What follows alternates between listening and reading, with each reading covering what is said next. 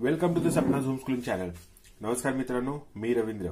आज मी तुम्हाला प्रॅक्टिससाठी इयत्ता पाचवीचा हिंदी विषयाचा पेपर घेऊन आलोय. प्रथम सत्राचा आहे आणि गुण चाळीस आहेत. हे बघा इथे. इयत्ता पाचवी गुण चाळीस ओके.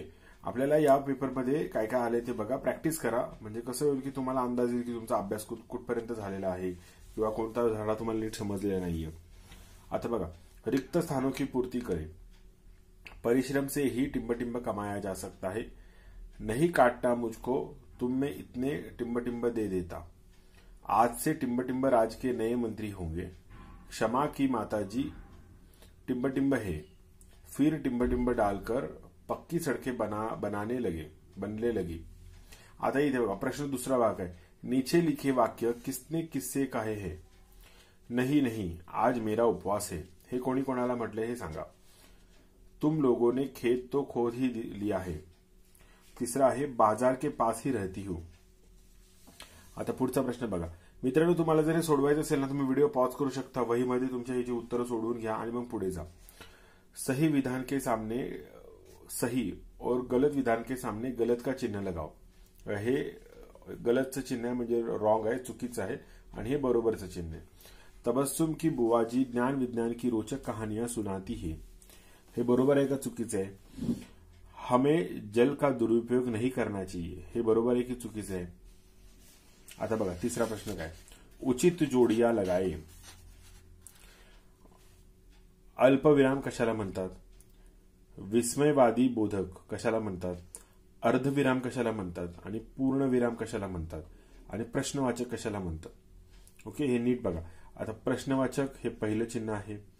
पूर्णविराम म्हणजे उभीदंडी अर्धविराम हा आहे. विस्मयवादी बोधक म्हणजे हे उद्गारवाचक चिन्ह आणि अल्पविराम म्हणजे हे. ओके? आता एक वाक्य में जवाब लिखो. आता इथे काय बघा कोणसे गाव में रमदानी रामदान रामदीन रहता था? कोणसे गाव में रामदीन रहता था? दुसरं काय नीम के पेड़ की छाया कैसी होती है?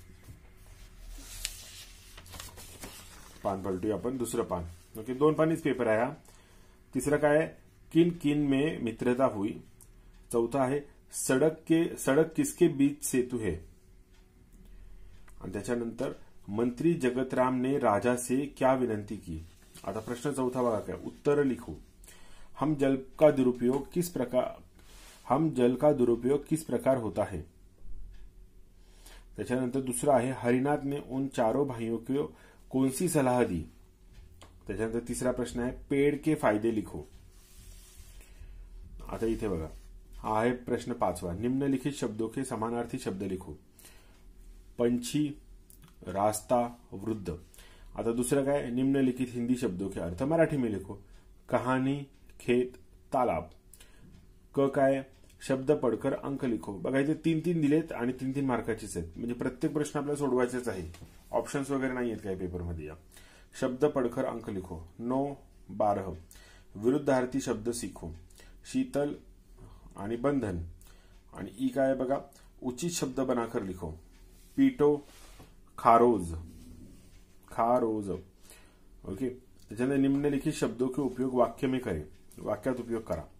काय लिहिलेलं किसान आणि जीवन यांचा वाक्यात उपयोग करायचा आहे ओके?